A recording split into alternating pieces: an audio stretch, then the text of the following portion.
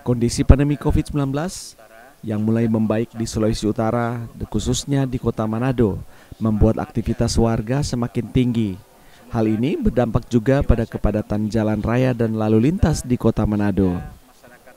Untuk itu, Kapolda Sulawesi Utara Irjen Pol Mulyatno yang ditemui media pada momen syukuran hari ulang tahun lalu lintas Bayangkara ke-67 di Mapolda Sulut mengingatkan kembali warga Manado dan Sulawesi Utara untuk tertib dalam berlalu lintas agar dapat terhindar dari bahaya kecelakaan yang fatal.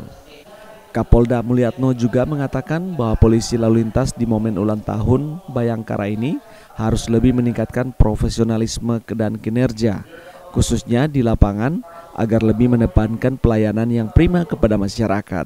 Berharap ya dengan ulang tahun ini tentunya sebagai momen untuk ke depan meningkatkan kinerja lalu lintas dalam rangka memberikan pelayanan eh, serta penegakan hukum di bidang lalu lintas sehingga lalu lintas ini betul-betul dirasakan oleh masyarakat manfaatnya eh, pelayanannya bisa dirasakan oleh masyarakat dan masyarakat semua khususnya di kota Manado dan umumnya Sulawesi Utara ini akan semakin menyadari dan mematuhi peraturan-peraturan lalu lintas sehingga kondisi lalu lintas semakin terwujud keamanan, keselamatan, kelancaran, dan ketertiban lalu lintas.